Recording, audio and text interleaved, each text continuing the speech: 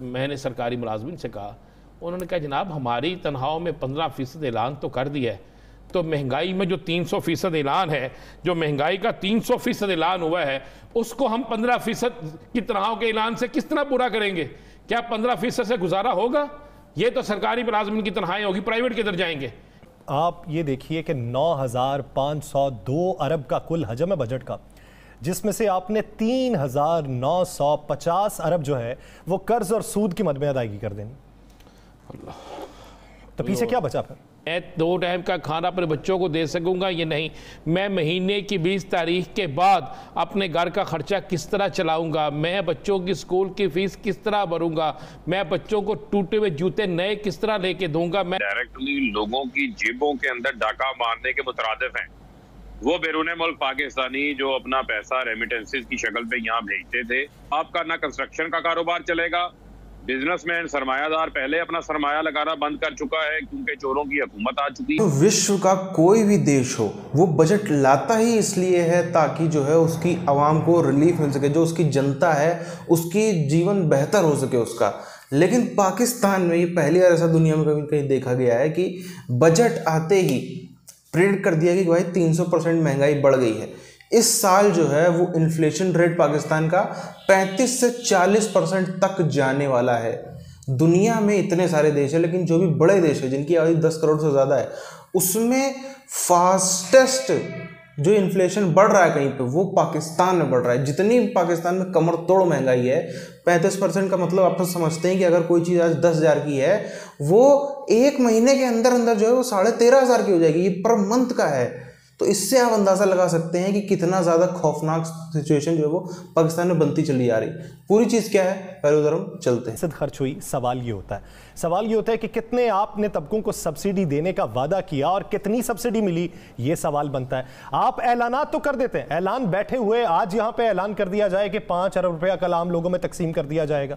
हमारे ऐलाना तो होते हैं, लेकिन ऐलाना पे अमल दरामद नहीं होता। अब हुकूमत ये कहती है कि अद्वियात का जो खाम माल है, उसकी जो कीमत है, वो भी कम की जाएगी और उस पर टैक्स छूट भी दी जाएगी जिसमें अद्विया साज जो कंपनियाँ हैं, वो रिलीफ दे सकेंगी आवाम को। ऐलान तो बहुत अच्छा है, लेकिन अमल दरामद क्या होगा, उसकी गारंटी कोई नहीं देता। इंटरेस्ट नहीं था।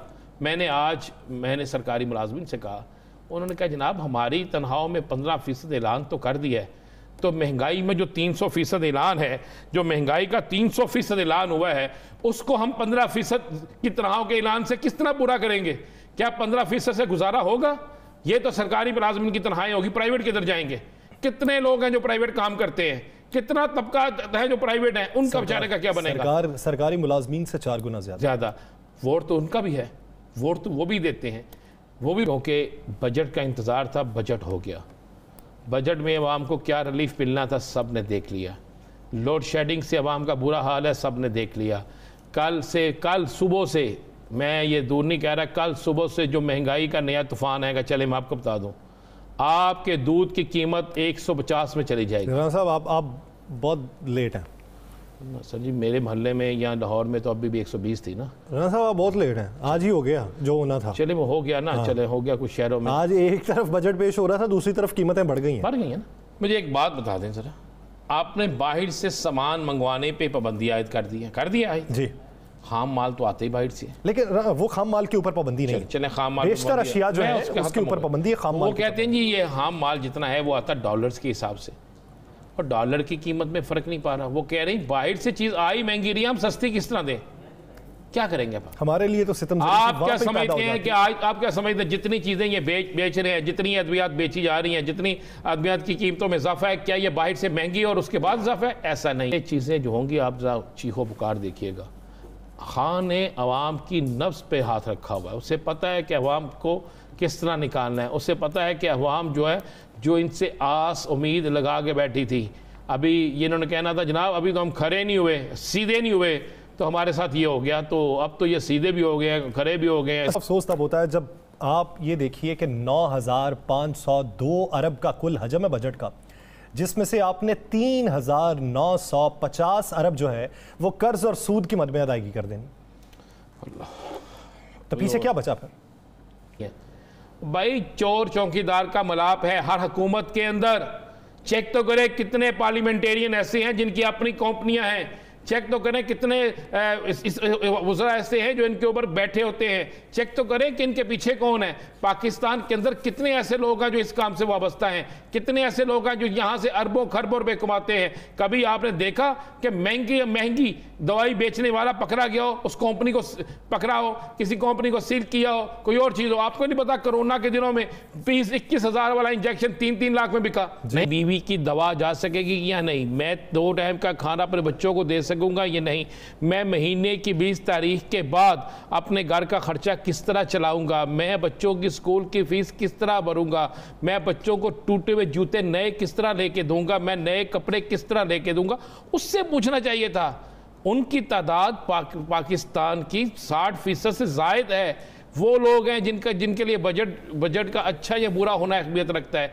बिल्कुल भूल जाना चाहिए कि हमें कोई भी वरी करना है कि हम तीन फ़ीसद ग्रो करते हैं, पाँच फ़ीसद करते हैं, छह फ़ीसद करते हैं, अभी इसको छोड़ दें। Growth is not a concern of Pakistan the concern of Pakistan is कि सवा नौ अरब डॉलर के इस वक्त रिज़र्व हैं और ये चालीस दिन की इम्पोर्ट्स के लिए भी पूरे नहीं हैं और हम डिफ़ॉल्ट लाइक सिचुएशन से निकलना चाहते हैं। उसके लिए बजट क्या कर सकता है? उसे हमें सात हज़ार अरब के जो टैक्सेस हैं, वो काफ़ी नहीं है। ये तो हम किचन की सात चीज़ें, आटा, चीनी, घी, मिर्चें उसके बाद सब्ज़ियाँ, उसके बाद दालें। क्या ये ये ये सस्ती हुई? क्या अद्वियात की कीमतों में फ़र्क आएगा? क्या ये चीज़ें सस्ती होंगी? क्या किसी घर के अंदर आटा अब दोबारा से चालीस रुपए किलो मिलेगा? क्या किसी को सब्ज़ी जो है वो बीस रुपए किलो, पच्चीस रुपए किलो, तीस रुपए किलो या पचास रुपए किलो तक मिलेगी? क्या घी की कीमतें नीचे आएँगी? क्या लोगों के घरों का चूल्हा जलेगा? क्या दो बल्ब जलाने वाले और एक पंखा चलाने वाले का बिल किसी तरीके से 500 700 या एक हज़ार तक आएगा? फिर तो बड़ा होगा। अब वहाँ बेचारी कुछ नहीं कर सकती। कुछ नहीं कर सकती। जिस कौम के अंदर ये हालत हो कि पेट्रोल महँगा हो और महँगा होने का ऐलान हो तो लोग गाड़ियाँ लेकर, मोटरसाइकिलें लेकर पेट्रोल पंपों पे चले जाएँ, बजाय के प्रोटेस्ट करने के, बजाय के हुक्मरानों के घरों के बाहर जाने के। तो उस कौम के साथ यही होना है ना? क्या सिर्फ़ यही होना है? आप महँगे पेट्रोल का सुनकर एहतजाज नहीं कर रहे, आप अपना एहतजाज रिकॉर्ड नहीं करा रहे, आप बल्कि पेट्रोल पंप के बाहर चले गए हैं कि बाग के पेट्रोल खरीदने। फिर क्या आप तो रखते हैं? उनके बच्चे भी चाहते हैं अच्छा खाना, उनके बच्चे भी चाहते हैं अच्छा लिबास पहनना, उनके बच्चे भी चाहते हैं अच्छे स्कूलों में पढ़ना, उनके बच्चे भी चाहते हैं कि ईद पर उनको अच्छे कपड़े मिलें, उनके बच्चे भी चाहते हैं कि हफ़्ते में एक दिन गोश्त खा लें, उनके बच्चे भी चाहते हैं कि हम किसी सैरगाह पर चले जाएँ। तो क्यों, किस तरह जाएँगे? ऐसा नहीं हो सकता। ये क्या आपने छेड़ दिया मौजू के बजट बजट क्या बजट सुबह से लेकर शाम तक? मेरा तो मैं तो सुन रहा था और आम आदमी, चलें, मैं चैलेंज करता हूँ आज अपने प्रोग्राम में। किसी एक लाख रुपया सैलरी वाले के घर का मुझे इसी बजट के में महीने का बजट बना के दिखा दो। साथियों, पाकिस्तानी मीडिया खुद ये रिपोर्ट कर रहा है कि 30 से 35 परसेंट तक है जो इन्फ्लेशन जाएगा। ये फॉर्मर जो फाइनेंस मिनिस्टर है, उसने भी इस चीज़ पर दावा लगा दिया। 40 तक भी जा सकता है अगर सिचुएशन ज़्यादा हाथ से निकल गई तो। इसका मतलब समझना बहुत ज़रूरी है। एक चीज़ अगर आज दस हज़ार की है, एक महीने बाद कितने की हो जाएगी? तेरह हज़ार पाँच सौ की। उसके एक महीने बाद कितनी हो जाएगी? तेरह हज़ार पाँच सौ का पैंतीस परसेंट, यानी कि लगभग अट्ठारह हज़ार। उसके एक महीने बाद कितनी हो जाएगी? अट्ठारह हज़ार का पैंतीस परसेंट, यानी कि लगभग ये आपका चौबीस हज़ार प्लस में माल बैठेगा। यानी कि इससे आप अंदाज़ा लगा सकते हैं कि किस तरफ़ जा रहा है चीज़। इसको हम दूसरी तरीके से भी समझ लेते हैं। अगर आज किसी की तनख्वाह बीस हज़ार है फॉर एग्जांपल पाकिस्तान में बीस हज़ार किसी की तनख्वाह है तो एटलीस्ट मिनिमम उसकी तनख्वाह जो है, या जो भी वो बिज़नेस कर रहा है, जो भी किसी भी तरीके से जो भी इनकम का सोर्स है, वो पैंतीस परसेंट से प्लस जाना चाहिए, तब वो महँगाई को झेल पाएगा। मतलब आप समझ रहे हैं? मतलब कि महँगाई तो है जो पैंतीस प्रतिशत की दर से बढ़ रही है तो उसकी तनख्वाह भी कम से कम पैंतीस प्रतिशत के दर से बढ़नी चाहिए। अगर उससे कम बढ़ रही है तो उसकी तनख्वाह यूँ जा रही है, महँगाई यूँ जा रही है। ये मतलब हुआ उसका। यानी कि अगर पैंतीस परसेंट किसकी तनख्वाह बढ़ती है? बता दो, साल भर में पाँच परसेंट, सात परसेंट लोगों की तनख्वाह बढ़ती है। पाकिस्तान में भी यही सीन है इंडिया में भी लगभग यही सीन है। अब इससे आप अंदाज़ा लगा लो कितना खौफनाक चीज़ की तरफ़ ही जा रहे हैं। एक और चीज़ यहाँ बहुत ज़रूरी है। अब हमारे यहाँ पे कई लोग कमेंट करते हैं कि भाई, दो साल से सुन रहा हूँ, तीन साल से सुन रहा हूँ, एक साल से सुन रहा हूँ कि डिफ़ॉल्ट होगा डिफ़ॉल्ट होगा, कब डिफ़ॉल्ट होगा? समस्या इसमें यह है कि हम लोग की थोड़ी सी एक्सपेक्टेशंस ज़्यादा हैं। डिफ़ॉल्ट होने का मतलब ये बिल्कुल भी नहीं होता है कि लोग एक दूसरे कपड़े फाड़ेंगे, बिल्कुल भी नहीं होता है कि एक दूसरे को मार पकड़ पकड़ के ही उसी को पका खाटेंगे ये सब नहीं होता है। जैसे अफ़गानिस्तान है, वो ऑलरेडी डिफॉल्टर कंट्री है, वहाँ पे तो ये सब नहीं हो रहा ना कि रोज आए दिन एक दूसरे को पकड़ पकड़ कर लोग निपटा रहे हैं, एक दूसरे का सर फोड़ रहे हैं, ये कर रहे हैं, वो कर रहे हैं नहीं होता है।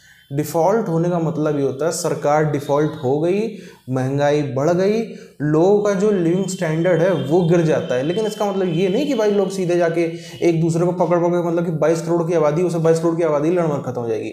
ये चीज़ प्रैक्टिकली पॉसिबल नहीं है तो ऐसी एक्सपेक्टेशंस भी ना रखें। डिफ़ॉल्ट जितना उनकी बुरी सिचुएशन होनी चाहिए, उतनी उनकी हो रही है। रोज़गार गिर रहे हैं, महँगाई कमर तोड़ भी मतलब छोटा शब्द है इसके लिए शब्द शायद ढूंढना मतलब ये बिल्कुल एक तरीके से जानलेवा से भी नरक के आग दिखाने वाली। पृथ्वी पर रहते रहते इनको जहन्नुम पता चल रहा है महँगाई से कि भाई जहन्नुम में क्या होता होगा। इसको ये पर ख़त्म करते हैं। मिलते हैं आपसे वीडियोज़ में। तब तक के लिए जय हिंद।